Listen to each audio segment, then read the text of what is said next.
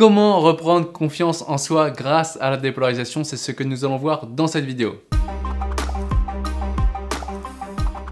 Bonjour, ici Pierre, fondateur de l'Académie de la Haute Performance. On accompagne des sportifs et entrepreneurs à être confiants et sereins en compétition et éliminer la peur d'échouer. Alors, avant d'aller plus loin, tu peux mettre un pouce bleu pour dire que tu likes ces vidéos et pour m'encourager à en faire plus et t'abonner pour être sûr de ne louper aucune vidéo. Et ensuite, regarde dans les commentaires, tu as aussi accès à un rendez-vous de 45 minutes qui est offert avec un coach de mon équipe. Alors maintenant, peut-être que parfois les gens autour de toi te voient comme quelqu'un de confiant, mais toi tu te dis waouh, mais en fait j'ai une petite faille et si les gens savaient, euh, ils, me, verraient que je suis pas si confiant que ça. Et du coup là, on va voir aujourd'hui euh, trois étapes pour pouvoir reprendre confiance en soi grâce à la dépolarisation.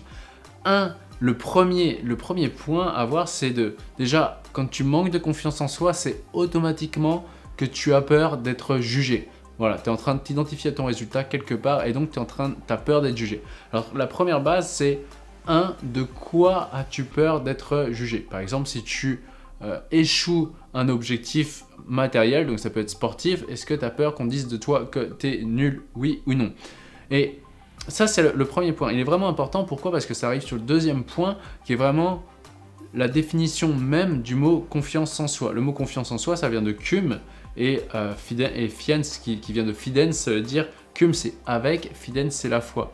Donc, la confiance en soi, c'est savoir qui je suis, ok? Mais ne pas avoir de preuves pour, pour ça. Donc, tu sais qui tu es, mais tu n'as pas besoin de preuves pour ça. Et ça, pour ça, c'est là où la dépolarisation est vraiment fabuleuse, c'est qu'on va voir que tout ce que tu juges à l'extérieur, c'est des choses que tu n'as pas appris à aimer, accepter chez toi. Et donc, quand tu juges quelqu'un, genre, il est nul, bah va voir toi toutes les fois où tu es nul, au lieu de te cacher et de dire ah non mais là c'était pas moi, demain je vais faire mieux, ça c'est ok, tu peux dire le demain je vais faire mieux, mais déjà d'aller voir toutes les fois où tu t'es perçu comme nul, perçu comme stupide, etc. Toutes les fois qui sont un peu, on va dire, euh, pas bien vu socialement.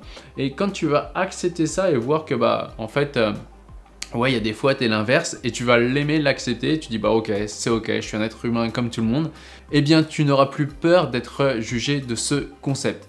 Et tu verras que si tu t'intéresses à, vraiment regarder chaque être humain euh, en détail, tu verras qu'il n'y a aucun être humain sur cette planète qui est mieux ou moins bien qu'un autre. Pourquoi? Parce qu'on a tous la partie humaine qui va être euh, défini par les actions que l'on va poser.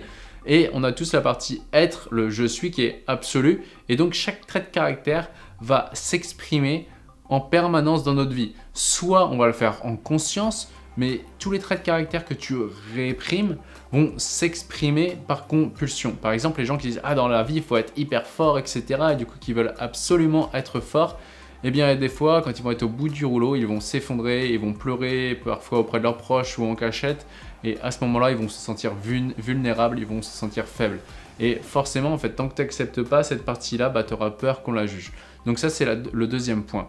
Ensuite, le troisième point, c'est, euh, je l'ai rapidement évoqué au début de la vidéo, c'est arrête de t'identifier à ton résultat. Ok? Il y a qui tu es, il y a ce que tu fais par tes actions et il y a ce que tu obtiens par tes résultats. Sauf que la perte de confiance en soi, le manque de confiance en soi, c'est souvent parce que les gens s'identifient à leurs résultats. C'est-à-dire que si tu perds une compétition, tu te dis Ah, j'ai perdu la compétition, donc je suis nul. Forcément, du coup, à chaque fois, tu auras peur de perdre, puisque pour ton ego, ça va être insupportable de se dire Ah, mais là, je, je suis nul en fait, parce que j'ai perdu. Et là, le conseil, c'est vraiment Ok, j'ai peut-être loupé la compétition, ou j'ai peut-être mal fait, mais je reste quelqu'un d'excellent que ferait l'excellence maintenant? Et te focaliser sur le millimètre de plus d'excellence que tu parcours. Et du coup, ce qui va faire que chaque chose que tu vas faire, chaque compétition que tu vas avoir, chaque entraînement que tu vas avoir va juste être des occasions de dire ok, de devenir excellent d'un millimètre de plus que la veille. Et à, chaque fois, j'aime bien dire ça en fait. Aujourd'hui, bah, tu es plus excellent que la veille et un peu moins que demain matin. Et c'est ok en fait. Et d'avancer dans ce schéma de progression continue, de devenir un être humain de plus en plus complet qui s'amuse, qui s'éclate, qui s'épanouit et qui s'accomplit dans ses actions quotidiennes. Et voici pour cette vidéo. Si tu as aimé, bah, pense à mettre un commentaire, pense aussi à partager si ça peut être utile à des gens autour de toi Et bien sûr, tu peux prendre un rendez-vous offert de 45 minutes avec un coach de mon équipe. On va voir le point A où tu en es aujourd'hui, le point B où tu as envie d'aller et qu'est-ce qui bloque pour passer du point A au point B et surtout comment on peut enlever ça très rapidement. Et surtout, rappelle-toi, l'important n'est pas ce que tu fais mais qui tu deviens. Ciao